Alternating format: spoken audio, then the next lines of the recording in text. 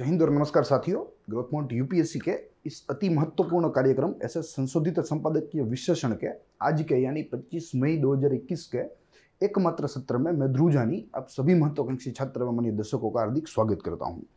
आज एक ही लेख के ऊपर बात करनी है जो महत्वपूर्ण है। साथ ही में एक प्रकार से कैसे भारत को यह दूसरी लहर से लड़ना चाहिए, कैसे तीसरी लहर के सामने टिकना चाहिए, उसके बारे में बात करता है। उसके बारे में चर्चा करता है। जैसे आपको टाइटल दृश्यमान है द सेकेंड वेव चैलेंज यानी कि जो भारत के सामने समस्या है, यह दूसरी लहर से निपटने की, जो कि ना मात्र केवल भारत का ही प्रश्न है, मगर पूरे विश्व का प्रश्न है। मगर फिर भी कुछ एक कमियों की वजह से भारत के ऊपर इसका प्रभाव जो है, वो बहुत ही आप कह लीजिए कि बहुत ही खराब रूप से देख रहा है। और जैसे हमारा हेल्थ इंफ्रास्ट्रक्चर खराब है, हमारा गवर्नेंस खराब है, हमारा प्रशासन खराब है तो इन सारी चीज़ों को अगर हम साथ में मिला लें तो उसका परिणाम जो है, वो आज एक प्रकार से हमारे जो सामान्य नागरिक है, वे लोग भुगत रहे हैं। बड़े शहरों का नागरिक भुगत रहे हैं, चाहे वो दिल्ली की परिस्थिति हो, चाहे वो मुंबई की हो, चाहे वो पुणे हो, नागपुर हो, गुजरात का अहमदाबाद हो। कोई भी बड़ा शहर जो है, वो इस दूसरी लहर के सामने टिका नहीं है और सारे शहरों में जो स्वास्थ्य संरचना है, उसमें जो लूपोल्स है, वो आज हमारे सामने आ रहे हैं, यह दूसरी महामारी से। हमने देखा पिछले दिनों में कैसे ऑक्सीजन की कमी से काफ़ी लोगों की मृत्यु हो रही है, कैसे दवाइयाँ टाइम पर ना मिलने से काफ़ी लोगों की मृत्यु हो रही है। केवल ट्रीटमेंट ही ना मिलने से, केवल बेड ना मिलने से काफ़ी लोगों ने अपनी जान घुमाई है। तो यहाँ यह सारी चीज़ें जो है, वे एक प्रकार से प्रशासन के लिए एक एक प्रश्न है। प्रशासन की जो काबिलियत है, प्रशासन की जो कर्मठता है, उसके ऊपर एक सवाल है। यहाँ लेखक ने बहुत ही अच्छा अपना अभ्यास दिया है। कहा है कि सेकंड लेयर जो है वो कैसे भारत को प्रभावित किया, कैसे पहली लेयर से सेकंड लेयर अलग थी, भिन्न थी, वहीं इस लेयर को अगर हमें हराना है तो कौन सी रणनीति अपनानी चाहिए? इसका भी ज़िक्र यहाँ लेखक ने हमारे सामने किया है। तो सारी चीज़ों को देखेंगे। जैसे कवर आपको दृश्यमान है let's fight safely Covid nineteen क्योंकि बहुत ही बड़ी महामारी है और 2020 में ही WHO ने इसे एक वैश्विक महामारी का, यानी कि पेंडेमिक की परिभाषा में इसे रख दिया था। तो वहाँ से अगर देखें तो काफ़ी देश है, चाहे वो लेटिन अमेरिकन कंट्रीज़ हो, चाहे वो सब सहारन कंट्रीज़ हो, चाहे वो साउथ एशिया में भारत जैसे देश हो जहाँ यह महामारी और दिन प्रतिदिन और विकराट बन रही है और प्रशासन जो है वो लाचार है, वो मजबूर है। मात्र और मात्र प्रशासन, सरकार लोगों को मरते देख रही है, लोगों को ऑक्सीजन के लिए रेमडेसिविर के लिए या प्लाज्मा के लिए। जो है दर दर ठोकरे खाते देख रहे हैं अन्यथा और कुछ नहीं कर सकता। तो यहाँ सारी चीज़ों को देखना है, कैसे आर्थिक रूप से यह दूसरी लहर ने भारत की कमर के ऊपर वार किया है, भारत की कमर तोड़ी है, वो भी यहाँ लेखक ने हमारे सामने बहुत ही अच्छी तरीके से रखा है, काफ़ी आधार लिए है अलग अलग अहवालों के अलग अलग संशोधनों के, मगर यहाँ इसका जो निष्कर्ष है वो लेखक ने हमारे सामने रखा है, जिसको हम लोग आज इस चर्चा में देखेंगे।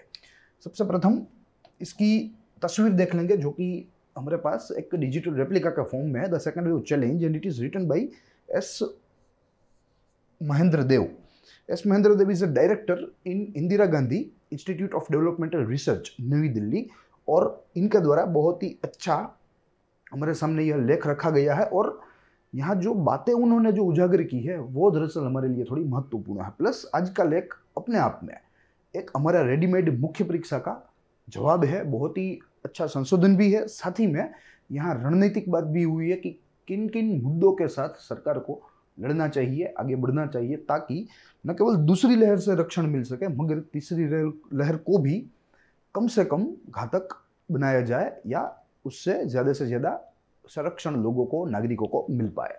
तो ये इसकी डिजिटल रेप्लिका है। आमतौर पर यह सेशन में हम लोग तीन चरणों में पूरी बात को समझते हैं, पूरी चीज़ को समझते हैं। सबसे प्रथम निष्कर्ष जिसमें लेखकों के आधार को तपासते हैं कि लेखक ने कौन से आधार पर यह लेख लिखा है। दूसरे चरण में, यानी कि महत्वपूर्ण बातों में हम लोग देखते हैं कि कौन कौन सी ऐसी बातें हैं जो नई है, जो लेखक ने हमारे सामने रखी है, तथ्यात्मक माहितियाँ, कुछ आंकड़े। उसके साथ नई परिभाषा है, जो कि लेखक यहाँ कॉइन करते हैं आमतौर पे एडिटोरियल कॉलम्स में। ठीक है तो उन सारी चीज़ों को हम लोग यहाँ रखते हैं। और तीसरे में अगर लेख हमारी परीक्षा दृष्टि से परिपूर्ण ना हो तो उसे पूर्ण करने के लिए, उसे संपूर्ण बनाने के लिए हम लोग यहाँ हमारे इनपुट्स डालते हैं in the form of research elements यानी कि संशोधित तत्वों के रूप में। मगर आज के लेख की बात करें तो बहुत ही अच्छा लेख है, अपने आप में एक संशोधन है। तो इसीलिए दो ही चरणों में आज की बात होगी। सबसे प्रथम लेख का निष्कर्ष, और बाद में उसमें दी हुई कुछ महत्वपूर्ण बातें। कुछ रणनीतिक बातें जो कि हमारी सरकारों को लागू करनी चाहिए। अगर करे तो नुकसान जो है वो कम से कम होगा दूसरी लेयर से। हम लोग ज़्यादा तेज़ी से वापस आएँगे रिकवर होंगे और तीसरी लेयर के सामने ज़्यादा ताकत से लड़ पाएँगे। तो शुरू करेंगे, लेकिन निष्कर्ष ही अगर बात करें तो काफ़ी सारे संशोधन, जैसे मैंने आपको बताया कि काफ़ी सारे संशोधनों को लेकर यहाँ लेखक ने हमारे सामने अपना कुछ अपनी कुछ राय जो है वो रखी है और उन राय में लेखक कहते हैं कि दूसरी वेव ने भारत में असमानता को बढ़ा दिया। ऐसा नहीं है कि कोविड मात्र ही इसका कारण है, मगर असमानता थी ही। पहले से ही थी, पूर्व कोरोना के भारत में भी थी, मगर इसको, जो है गहरा बनाने का काम, इसको तीव्र बनाने का काम यहाँ कोरोना ने किया है, यानी कि कोविड 19 ने किया है।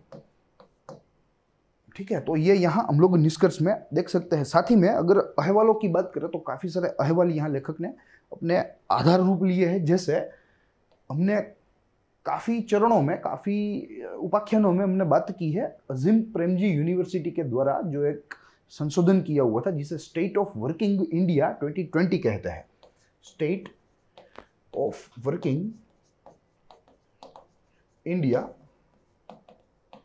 2020 उसके बाद सी एम आई ई यानी कि centre of monitoring Indian economy इनके इनके भी कुछ आंकड़े हैं जो कि लेखक ने आधार बनाए हैं। साथ ही में आरबीआई का बुलेटिन। ठीक है तो इत्यादि चीज़ों के साथ यहाँ लेखक ने हमारे सामने कुछ बातें रखी है, अपना पक्ष रखा है, निष्कर्ष रखा है, और आज भारत की जो वास्तविक परिस्थिति है, उससे हमें वाकिफ करवाया है। साथ ही में कैसे इस लहर से बचा जाए, कैसे तीसरी लहर से भी बचा जाए, उसका भी ज़िक्र यहाँ लेखक ने किया है। तो लेखक ने यहाँ एक ब्लूप्रिंट भी हमें दी है, एक रूपरेखा भी दी है कि कैसे सरकारों को लड़ना चाहिए, कैसे प्रशासन को लड़ना चाहिए ताकि ऐसी महामारियों का प्रभाव हम लोग कम से कम कर सके। तो ये बात रही निष्कर्ष की। अब अगर महत्वपूर्ण बातों में देखें तो काफ़ी सारी बातें हैं। सबसे पहले तो समझना है कि दूसरी लेयर और पहली लेयर में भिन्नता क्या है। एक ही भिन्नता है first wave second wave first wave में स्ट्रिंजेंट लॉकडाउन था, राष्ट्रीय स्तर का बहुत ही कठोर लॉकडाउन देखा। इसीलिए तब जो संक्रमण था, वो कम था। तब हेल्थ इंफ्रास्ट्रक्चर क्राइसिस नहीं हुए थे, क्योंकि संक्रमण कम था। कम से कम लोगों को अस्पताल की ज़रूरत पड़ रही थी, कम से कम लोगों को ऑक्सीजन की ज़रूरत पड़ रही थी। मगर दूसरी वेव में लॉकडाउन जो है, वो थोड़ा सा लिबरल था या स्टेट वाइज था पार्शियल था। तो यहाँ संक्रमण की गति अति तेज हो गई, संक्रमण की गति तेज होने से वो जो वो जो पूरा दबाव है, वो दबाव हेल्थ इंफ्रास्ट्रक्चर के ऊपर आया और इसी के कारण हेल्थ इंफ्रास्ट्रक्चर यहाँ क्रैश हो गया। तो यहाँ सबसे प्रथम first wave lockdown second wave no lockdown as such as it was in the first wave फिर अगर पहली लेयर की बात करें तो यहाँ इकोनॉमी के ऊपर बहुत ही प्रतिकूल असर हुई थी पहले लॉकडाउन की, क्योंकि संपूर्ण रूप से जो आर्थिक प्रवृत्ति थी, संपूर्ण रूप से वो बाधित थी, बंद थी। तो यहाँ इकोनॉमी क्रैश हुई। मगर यहाँ इकोनॉमी में इतना कोई फ़र्क देखने को नहीं मिल रहा है फ़िलहाल, मगर आगे जाकर आगे जाकर आई मीन यह आंकड़े थोड़े चेंज भी हो सकते हैं। तो ये इसका दूसरा तफावत है। यहाँ बड़ी तो नहीं है, मगर फ़र्स्ट वेव की जितनी कॉन्ट्रैक्ट भी नहीं हुआ क्योंकि स्टेट वाइज लॉकडाउन था, कुछ स्टेट में था, कुछ स्टेट के कुछ हिस्सों में था कंटेनमेंट एरियाज़ थे, वहाँ तक लॉकडाउन सीमित था। अन्यथा आर्थिक प्रवृत्ति जो है, वो सामान्यतः चलती रही थी पूरे भारत में। तो यहाँ इकोनॉमी के ऊपर भी कुछ ज़्यादा असर नहीं हुई ऐसा लगता है। अब जो मुख्य भिन्नता है दोनों वेव में, वो ये है कि पहली वेव जो है, वो लॉकडाउन होने के कारण मात्र शहरों में ही थी। शहरों में ही। और क्योंकि शहरों में जो हेल्थ इंफ्रास्ट्रक्चर है, वो अच्छा होता है। हेल्थ केयर सर्विसेज़ अच्छी मिलती है, अच्छी गुणवत्तापूर्ण होती है। तो यहाँ मात्र और मात्र शहरों में थे तो पहले लेयर में जो संक्रमण था, उसे मैनेज करना आसान था। उसे रेगुलेट करना, उसे ट्रीट करना आसान था। मगर अब दूसरे वेव में लॉकडाउन लिबरल होने के कारण मूवमेंट्स ऑफ़ पीपल बड़े शहर में जो कोई रहने वाले लोग हैं, अगर वहाँ कोरोना आ गया है, उनके शहर में सपोज़ कोई भी एक फैमिली है, कोई भी एक हाउस होल्ड है, वो अपना गाँव छोड़कर माइग्रेट कर गया किसी भी अर्बन एरिया में, अब वहाँ अर्बन एरिया में लगभग लगभग लॉकडाउन जरी जैसी परिस्थिति है तो वो कुटुंब जो है, वो अब वापस अपने गाँव आएगा कि एक बार नॉर्मली से एस्टेब्लिश हो जाए, फिर से हम लोग वहाँ चले जाएँगे। तो ऐसे में वे लोग वहाँ से कोरोना अपने साथ गाँव में ले आए। फिर गाँव में वे अन्य लोगों से मिले, घूमे फिरे। ठीक है तो इस तरह आज दूसरी लेयर में कोरोना का संक्रमण ग्रामीण भारत में भी बढ़ गया है। ये एक अपने आप में बहुत ही गंभीर बात है, ग्रामीण भारत। और क्योंकि ग्रामीण भारत में, जैसे शहरी भारत में हेल्थ इंफ्रास्ट्रक्चर रिलेटिवली अच्छा होता है, वैसे ही ग्रामीण भारत में यह पुअर होता है। यहाँ कोई ऐसी सुविधा है, देखने को नहीं मिलती तो यही बात घातक है, यही बात यह दूसरी लेयर की तीव्रता को बढ़ाने में मदद करती है क्योंकि there is no infrastructure no health infra और अगर सेंसस के आंकड़े देखें तो हमें मालूम पड़ेगा कि पॉपुलेशन जो होती है, भारत की वो अधिकांश पॉपुलेशन तो ग्रामीण भारत में ही रहती है। अर्बन एरियाज़ में, यानी कि शहरी विस्तार में तो मात्र और मात्र तीस फ़ीसदी लोग रहते हैं, अन्यथा जो सत्तर फ़ीसदी है सत्तर प्रतिशत जो भारत की जो जनसंख्या है, वो गाँव में बसती है। तो अब अगर यहाँ गाँव में एक बार संक्रमण शुरू हो गया तो वहाँ तो हेल्थ केयर फैसिलिटीज़ भी नहीं है मेडिकल प्रैक्टिशनर्स भी नहीं है, ठीक है? अन्य कोई इक्विपमेंट्स भी नहीं है, कुल मिला के पूरा जो क्षेत्र है, वो पुअर है। तो वहाँ तो परिस्थिति और गंभीर होगी, और हो सकता है कि पहली लेयर से भी दूसरी लेयर गंभीर हो ग्रामीण भारत में, और तीसरी लेयर भी इसमें शुरू हो जाए। तो ये बात है। साथ ही में, जैसे हमें मालूम है कि हमारे प्रधानमंत्री नरेंद्र मोदी जी ने एक महत्वाकांक्षा सार्वजनिक की थी और कहा था कि भारत को फाइव ट्रिलियन इकोनॉमी बनाना है 2026-27 तक। पहले 25 की बात थी, मगर फिर ऐसा विघ्न आ गए तो अब 2026-27 की बात है।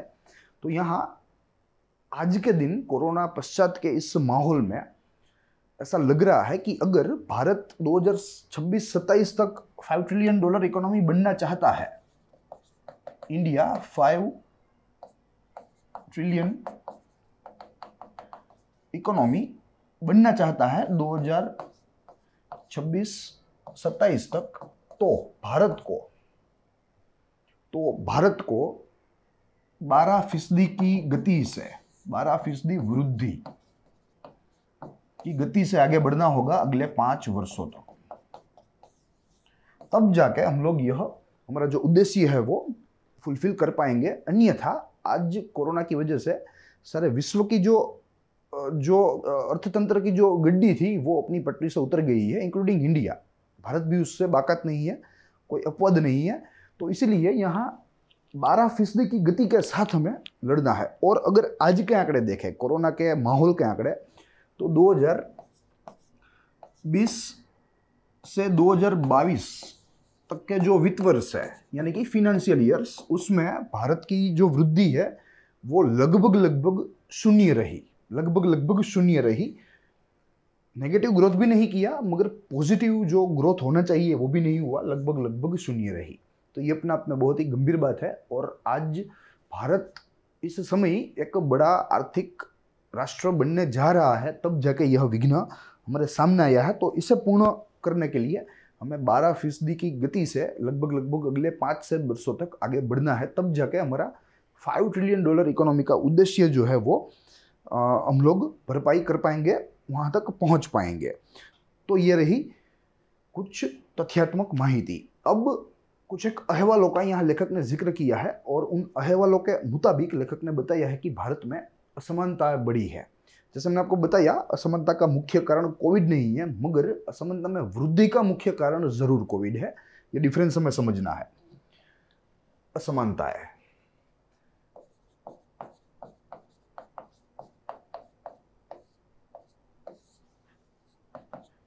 असमानता पहले से ही थी, मगर अगर किसी ने इसमें वृद्धि की है तो वो वृद्धि की है कोविड ने। और ये बात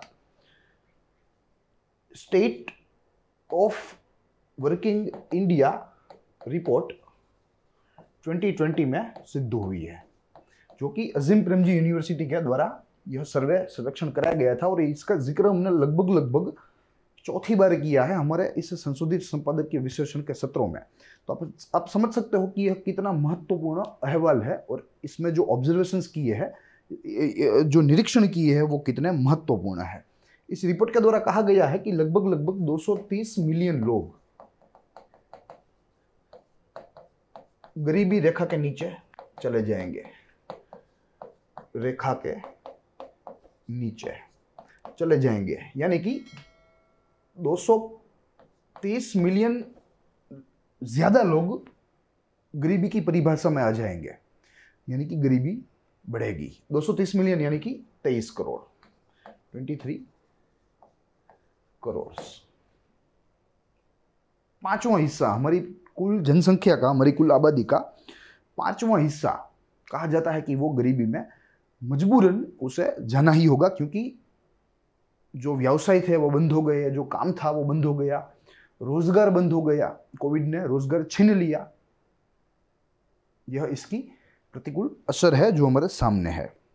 साथ ही में centre of monitoring Indian economy ने भी कुछ डेटा जारी किया है और उसमें भी उन्होंने बहुत ही चिंता व्यक्त की है कहा है। दो चीज़ें बताई है, दो ऑब्जर्वेशंस बताई है। सबसे प्रथम सबसे प्रथम डिक्लाइन इन इनकम और दूसरा rise in unemployment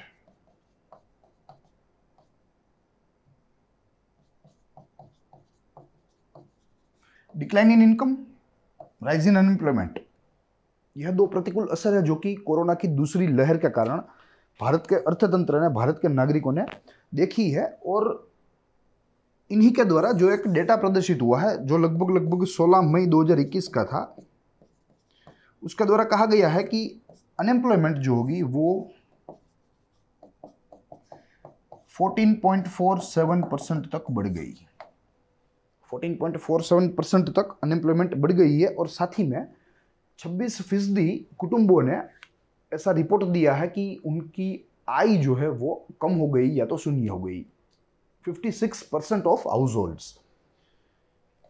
fifty six percent of household reported a decrease in income due to Covid due to lockdown due to measures to tackle Covid ठीक है तो कहने का तात्पर्य यह है कि भारत में दो प्रकार के समाज है। एक समझ ऐसा है कि जिनको कोई फ़र्क नहीं पड़ा है और एक समझ ऐसा है जिनका सब कुछ चला गया including their livelihoods including their income और वे आज बेरोजगार हो गए हैं, जिसकी प्रतिकूल असर भारत के अर्थतंत्र के ऊपर दिखनी ही दिखनी है। और इसके लिए सरकार को बहुत ही ताकत से कदम उठाने चाहिए।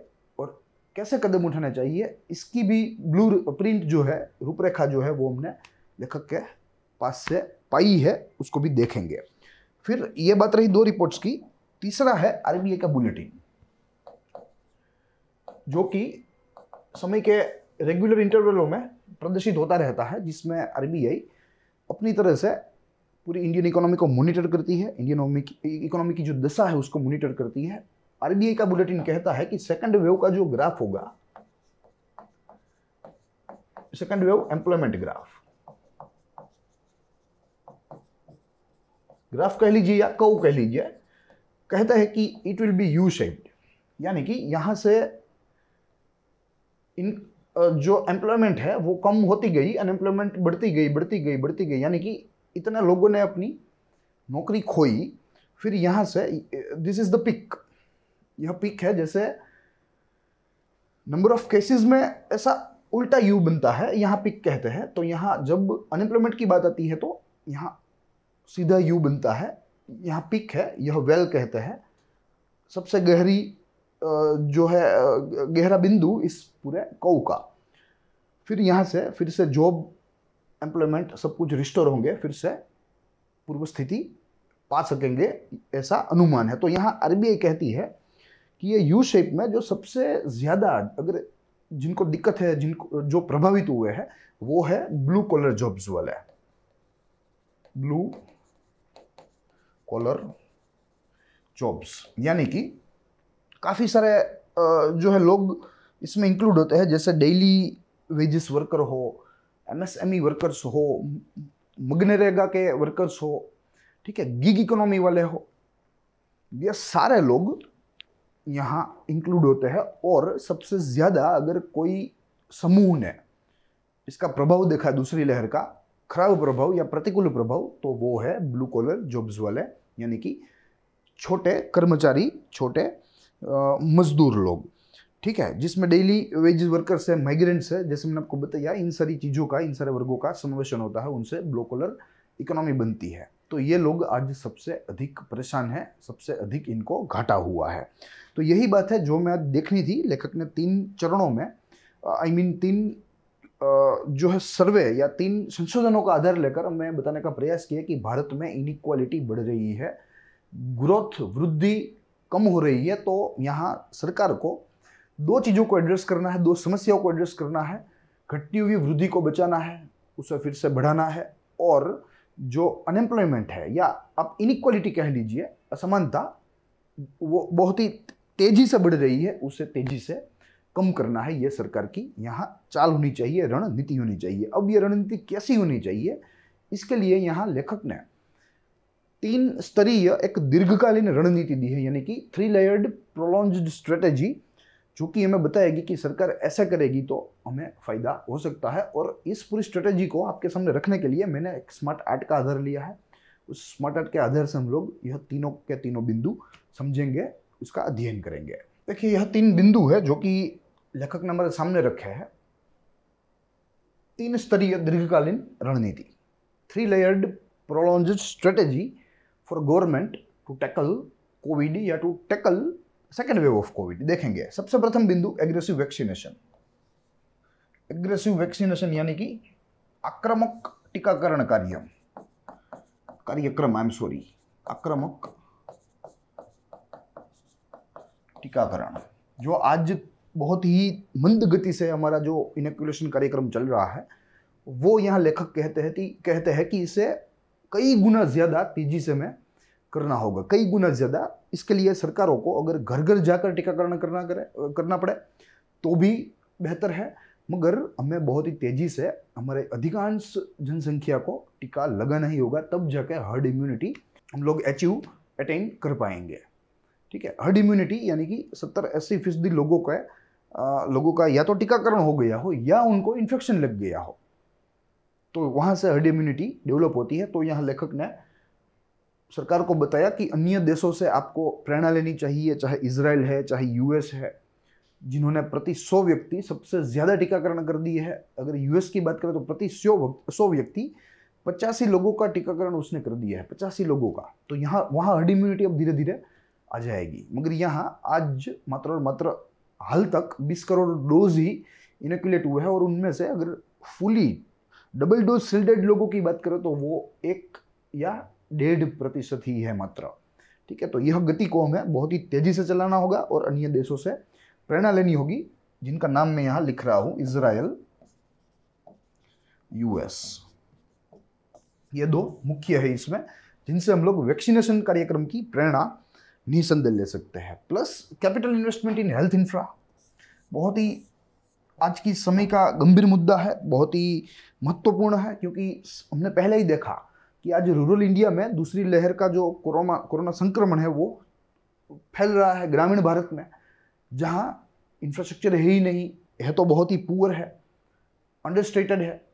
ठीक है तो आज की मांग सरकार जो है, वो अपना बजट एलोकेशन हेल्थ इंफ्रास्ट्रक्चर में ज़्यादा से ज़्यादा करें, वही आज की मांग है, वही आज का जो है एजेंडा है, ऐसा यहाँ लेखक कहते हैं। और इसी चरण में काफ़ी सारी चीज़ों का ज़िक्र किया, जैसे रूरल इंफ्रास्ट्रक्चर को रूरल हेल्थ इंफ्रास्ट्रक्चर को अच्छा बनाना नंबर ऑफ़ डॉक्टर्स बढ़ने चाहिए नंबर ऑफ़ मेडिकल प्रैक्टिशनर्स जो है वो बढ़ने चाहिए, प्रति दर्दी, प्रति ten thousand patients number of beds बढ़ने चाहिए number of ventilators oxygen supply ठीक है? तो यह सारी चीज़ों के लिए कैपिटल एक्सपेंडिचर चाहिए और यह कैपिटल एक्सपेंडिचर के लिए बजट एलोकेशन चाहिए।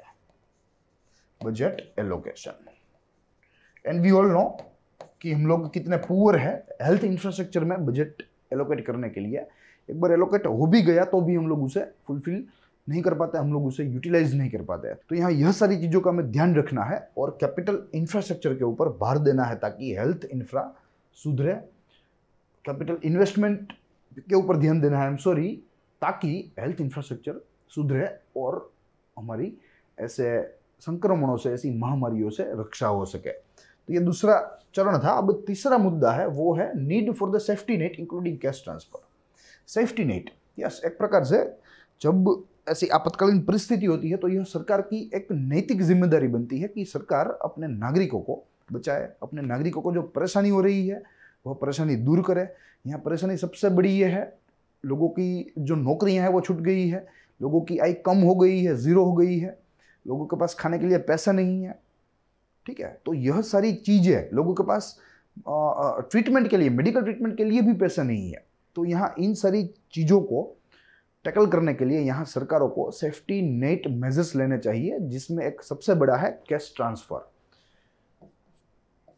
और इसका सबसे बड़ा एग्ज़ाम्पल है यूएसए यूएसए ने, प्रथम लेयर में ही जब पहली लेयर वहाँ चल रही थी, पूरे भारत में, पूरे विश्व में चल रही थी इंक्लूडिंग भारत, मगर भारत में लॉकडाउन चल रहा था तो हम लोग वहाँ तब थोड़े जो है थोड़े फॉर्चुनेट थे कि तब हेल्थ इंफ्रास्ट्रक्चर क्राइसिस ना हुआ और वो हुआ दूसरी लेयर में।